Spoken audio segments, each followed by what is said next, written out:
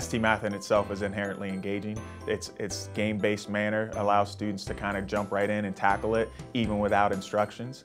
And so teachers, you know, traditionally have to give instructions and show how to do it. ST Math is one of those things that, you know, when they're at home, you don't have to teach them how to play a, a game system. They jump right in and ST Math is very similar to that. It's amazing how students are like, oh, I saw this puzzle. They can really now relate the lesson to this ST Math.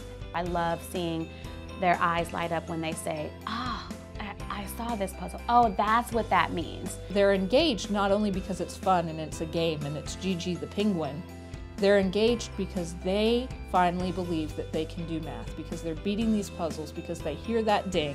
And that has a direct link to achievement because if you believe you can, then you try your best and you do your best and they have seen, even if they do fail the first time, they know that they can go back and try again and they can problem solve. Well, I tried this and it didn't work, so now this is the strategy I'll try. And they've started applying that to their actual coursework. It's pretty neat to see really the kids help each other.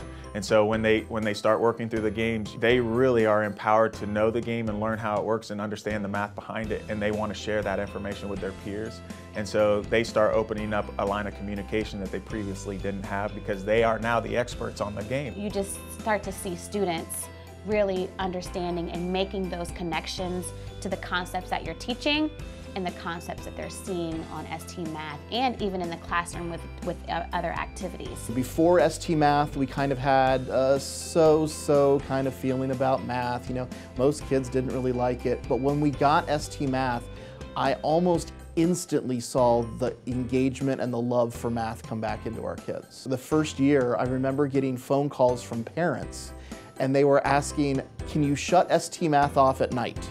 Because their kids would be hiding under the blankets at night, not wanting to go to bed, to wanting to play ST Math. We have kids that want to stay in from recess because they want to play ST Math. So the engagement has been phenomenal. And really, you know, you can't teach kids unless they're engaged.